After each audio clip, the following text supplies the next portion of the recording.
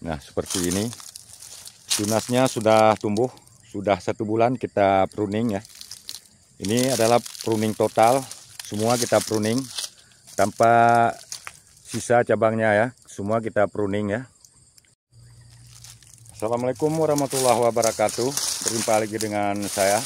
Pada sore hari ini kita sudah berada di kebun jambu kristal. Ini jambu kristal kita yang dulu yang lebat sekali buahnya ya. Sekarang sudah kita pruning, pruning total ya. Sekarang kita pruning total karena batangnya sudah besar dan sudah tinggi-tinggi. Sudah susah untuk membungkus ya seperti ini ya batangnya. Baru satu bulan kita pruning. Sudah tumbuh tunasnya seperti ini. Ini langsung kita pruning total ya. Tidak ada sisa cabangnya semua kita habiskan ya. Semua kita pangkas cabang-cabangnya. Karena batangnya sudah cukup besar dan sudah tinggi-tinggi ya. Jadi susah untuk membungkusnya. Jadi kami lakukan pruning total sebulan yang lalu. Alhamdulillah sekarang sudah tumbuh semua tunasnya. Dan pada hari ini kami mau memupuk ya kami melakukan pemupukan supaya tunasnya nanti lebih subur dan langsung mengeluarkan bunga ya. Jadi kita tidak bisa telat untuk memupuk ya. Supaya nanti buahnya bisa besar. Nah, ini putihnya juga bakal buahnya bakal buahnya alhamdulillah sudah banyak keluar ya. Jadi setiap keluar pucuk pucuk muda membawa bakal bunga semua. Nah ini seperti ini juga ya. Sudah mengeluarkan bakal bunga seperti ini. Jadi makanya kita harus memupuk dan harus memberikan obat ya disemprot menggunakan insektisida supaya bebas dari hama. Oke kawan-kawan, kita lihat dulu apa saja pupuk yang kita gunakan untuk memupuk jambu kristal kita ini setelah dipruning selama lebih kurang satu bulan ya. Nah kawan-kawan, inilah pupuk yang kita gunakan untuk memupuk jambu kristal kita setelah dipruning. Kita menggunakan MPK Posca dan Polipipim. Jadi NPK Poska ini sudah mengandung nitrogen 15%, fosfat 10%, kalium 12%. Sedangkan pupuk polipipim ini mengandung sulfur oksida 48%, kalsium oksida 12%, magnesium oksida 9%, dan kalsium oksida 25%. Jadi dua pupuk ini kita gabung untuk memupuk jambu kristal kita.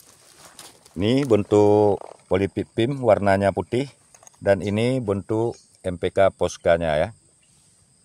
Dua pupuk ini alhamdulillah unsur haranya sudah lengkap ya. Ada unsur hara makro primernya dan ada juga unsur hara makro sekundernya. Nah, jadi kita uh, untuk memupuk jambu kristal kita itu tentunya pupuk yang kita pakai unsur haranya harus lengkap. Nah, di samping itu harus ada unsur hara makro primernya dan juga harus ada unsur hara makro sekundernya dan juga nanti kita juga kasih unsur hara mikro ya. Di dalam pupuk polipim ini tadi ada unsur kalium, ada unsur kalium oksidanya 12%, sedangkan uh, Posca tadi sudah mengandung juga kaliumnya 12% ya. Jadi kita pupuk jambu kristal kita ini memang membutuhkan kalium yang tinggi. Fungsinya untuk membesarkan buah dan untuk memaniskan buah nanti ya. Nah, jadi sedangkan magnesium, kalsium, dan sulfur ini adalah unsur hara makro sekundernya. Sedangkan unsur NPK, nitrogen, fosfor, kalium adalah unsur hara makro primernya. Ya, nanti juga kita menggunakan pupuk unsur hara mikro juga ya.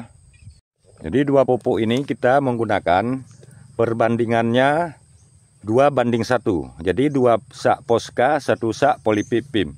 Ataupun 10 kg Posca, 5 kg polipipim. Kita aduk rata untuk memupuk jambu kristal kita ya. Oke kawan-kawan, pupuk kita aduk rata ya. Kita aduk rata.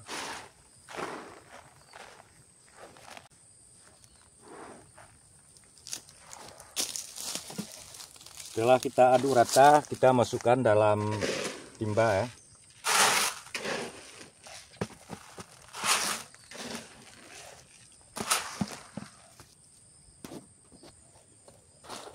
Oke, setelah kita masukkan langsung kita pupuk.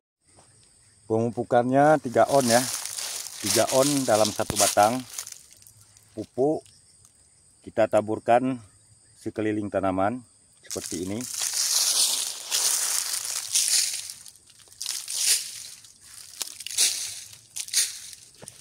cukup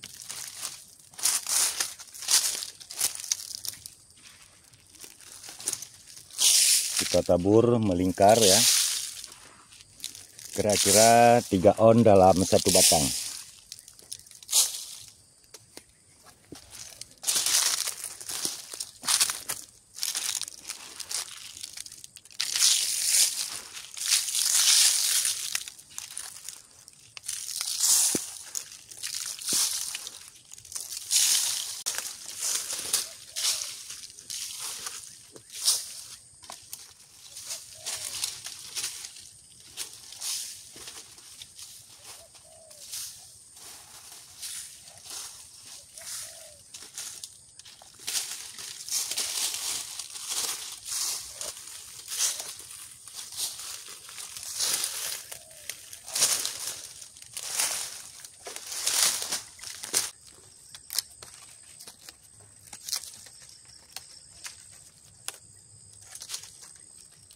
Oke kawan-kawan, demikian dulu video kita kali ini. Assalamualaikum warahmatullahi wabarakatuh.